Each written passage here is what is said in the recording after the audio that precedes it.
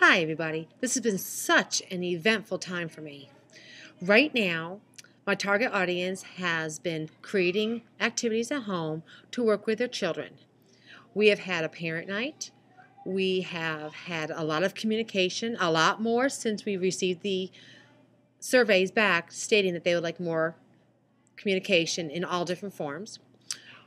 The parents have been very supportive with everything that I expect in the classroom. They have become more knowledgeable with the expectations and the skills of kindergarten. What I am really not upset about, but a little disappointed in, is the amount of parental involvement that has actually taken place. When I've had parent, parent nights, these nights have been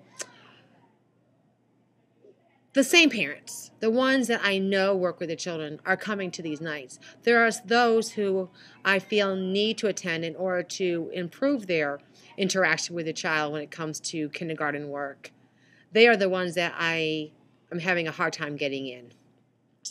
But to look on the bright side, I know with a lot of determination and a lot of communication that these parents will eventually become involved. I just know it.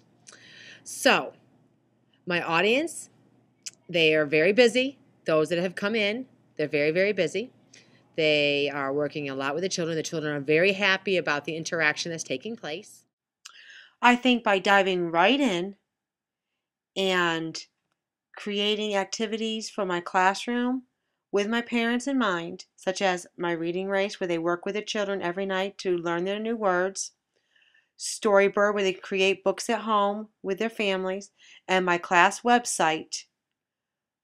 This makes communication between home and school more effective. Therefore, my students are achieving.